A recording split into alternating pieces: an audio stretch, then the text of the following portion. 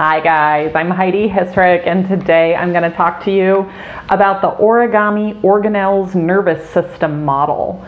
And my students, we are going to be building this to learn about the central and peripheral nervous system and the three main kinds of neurons. Before you start watching this video, if it's possible, print the handout from underneath the video description. It's pretty simple, it's just a place to put your work. So you could also just get a sheet of white printer paper and that would work just fine. This is a little preview of what we're gonna be making today. If you decide you want to do this activity, it's available for purchase online from origamiorganelles.com. It's $5.99 um, to buy it, and it has instructions as well as templates to print out. I did the color printed versions, but there's also a black and white template that you can print and uh, color in, and that works really well too. It just adds a little time requirement to working with this.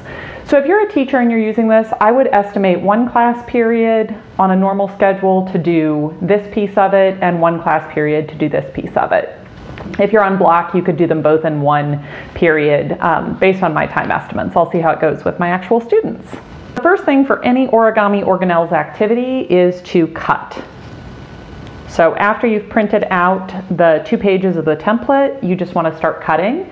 And for my students, we are going to do the nervous system part, which you see on the screen right now one day, and then we will do the neurons on a separate day. So just cut out the nervous system for now here is my nervous system. I already practiced, so I already taped it, but I'm gonna go ahead and undo that. So you can see that for the rectangles, I did cut on the black lines, but when it came to the arms and the torso, I left myself a little leeway just so there would be just so it'd be easier to work with than if I made it super, super thin. Once you have it cut out, you can give it a little bit of dimensionality so it's kind of designed like a paper doll. There's the brain, we kind of make that pop.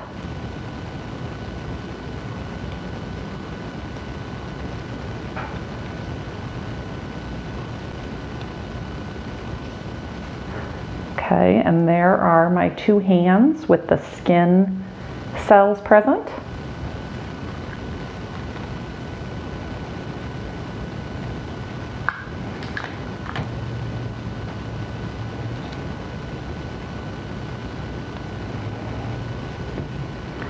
And here are my two legs with some muscles present. And then I'm gonna lay it at an angle just so there's room to draw and write. And I'm gonna tape it down in a couple of spots.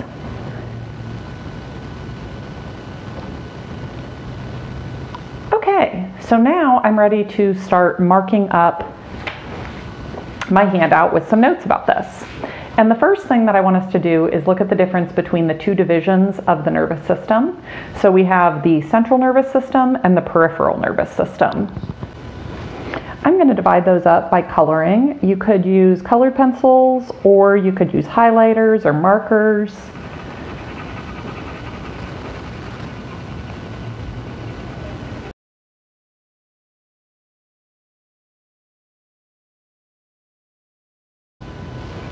We're going to do some notes about the central nervous system. So it has two parts. It has the brain and it has the spinal cord.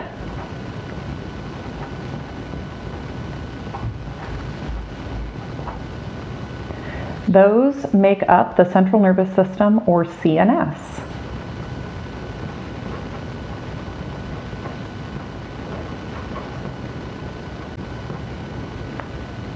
Sends and receives signals. It sends messages to the muscles and it receives messages from sensory organs. So these are things like the skin, which we can see in the model, the eyes, the ears, the nose, all of our senses are going to go to the central nervous system, and all of our muscle movements come from the central nervous system. Now let's do the second part. The second part is called the peripheral nervous system. I'm going to use green for the peripheral nervous system.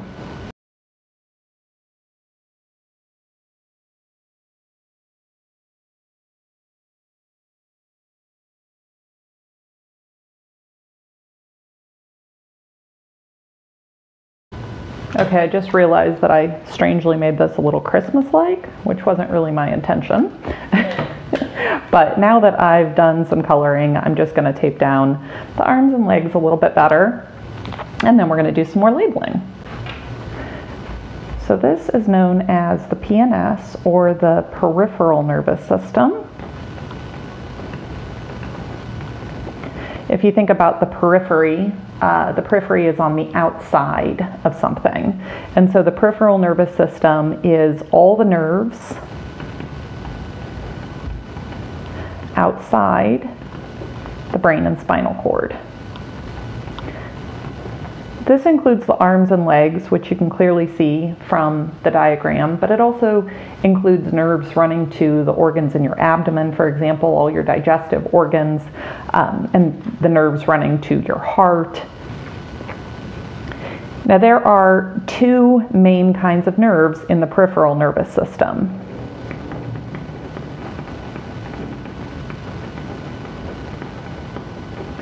You have the motor neurons, which receive signals from the brain.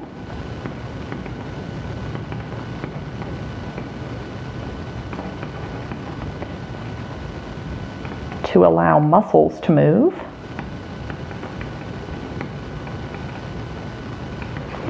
And you have sensory neurons, which send signals to the brain about all of our senses.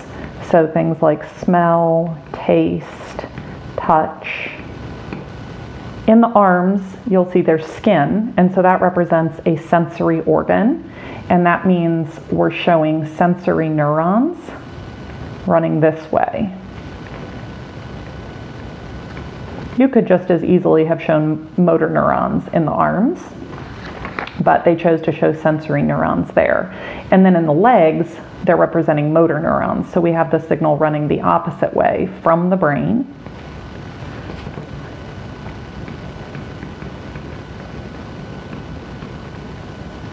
In the skin, we have these cells called receptor cells. So the receptor cells pick up signals. We'll say sensory signals. And that's what is then relayed to the brain. And in muscles, we have cells called effector cells. And those receive signals.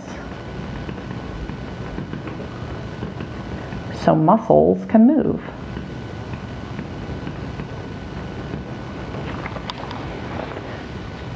That is the basics of the nervous system and what's going to go on the front of the sheet.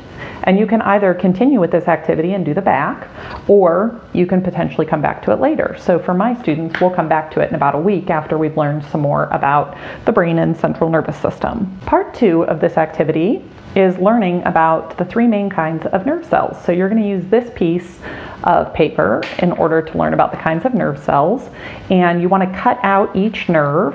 And I'm going to show you my cut out versions of the nerves. So when I did my cutting, I wasn't too particular about getting right up to the black line. You can see I didn't want to cut around each individual dendrite, but then when I got to the axon, I did cut along it. So you can decide exactly how much of the white you want to leave. And then here's my last one, I already taped it. Um, but again, you can see that on the black rectangles, I did cut more cleanly, but around the whole neuron, I left a little bit of white to make life easier. So go ahead and get those cut out. I'm gonna start by talking about the sensory neurons. And you can go ahead and tape down your sensory neuron. I would tape it in the same position because I'm going to show how each of these neurons connects to the next one. So let's go ahead and label this guy sensory neuron. and we'll label the parts. This is the cell body, and inside is the nucleus with the chromosomes. This is the start of the neuron, so you can see the branching. Those are the dendrites. And the first part of this is called the dendron because it's leading up to the cell body. And then once we get past the cell body, that's called the axon. And here we have the axon terminal, terminal meaning end. So these are the end of that neuron. And remember that the sensory neuron is always going to pick up signals from the sensory organs. So the dendrites are embedded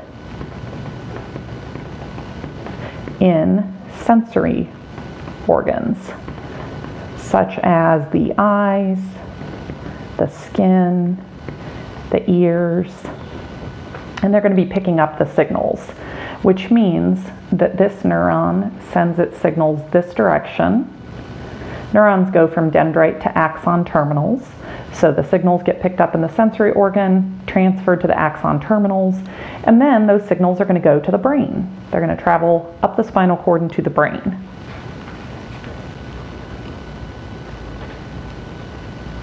The next kind of neuron that we're going to look at, these are the neurons that make up the brain and the spinal cord. So I'm using the color that I used for the central nervous system. So this is called a relay or interneuron.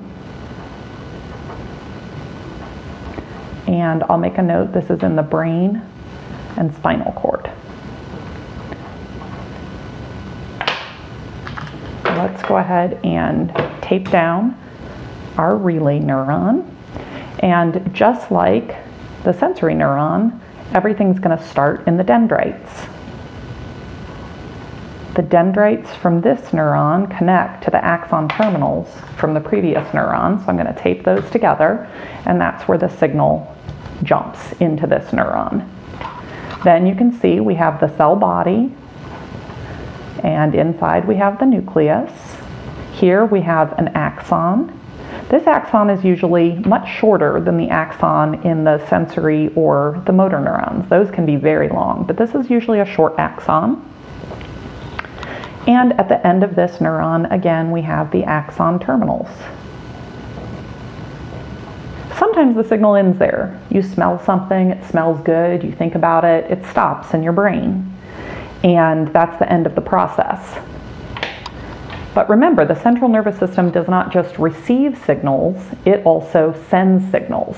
So it receives signals from the sensory neurons, those signals are going to run this direction, but it can also send signals, and those are going to go like this. And often those just start in your brain. You think, oh, I want to move my hand to write. So now we have the final kind of neuron, which is a motor neuron.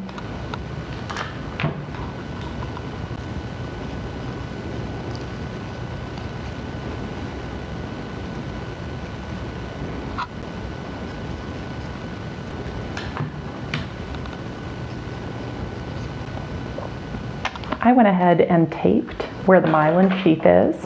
And I'm going to tape down my motor neuron on each end. Again, this kind of neuron is part of the peripheral nervous system, so I'm going to go back to my green color. And this is called a motor neuron. Like all neurons, all action starts in the dendrites. Those are the beginning and you can see the cell body here, which contains the nucleus. And then right here begins our axon. So the axon on a motor neuron can be very long. If you think about from your spinal cord um, down to your toe, you have motor axons that run the entire length of your leg. So these can be very, very long, which is why we need this stuff, which is called myelin sheath. And the myelin sheath helps insulate the axon to allow for the signal to travel those long distances. At the end of this neuron, we have axon terminals, just like every neuron, that's the ending. But these are embedded in muscles. Now these might be the muscles of your arms and legs, that might be what you think of. but also things like the heart muscle is controlled by motor neurons and the muscles that help move your food through your intestines and through your stomach. Those all have motor neurons embedded in them too. So these are embedded in muscles and they connect to effector cells. And they receive the signals that allow our muscles to move. So these run this way. One direction only, always to muscles, always away from the central nervous system. The sensory neurons run one direction only, always away from the sensory organs and to the central nervous system. Sometimes you have an entire reflex where it all works together. Like you see, uh, you see a stink bug and that runs to your brain and your brain flips out and you jump out of your chair and drop everything because stink bugs are horrifying. But a lot of times it's just voluntary action. I'm thinking about moving my finger, so it's just central nervous system to motor neuron. Or I smell something cooking, so that's just sensory neuron to relay neuron.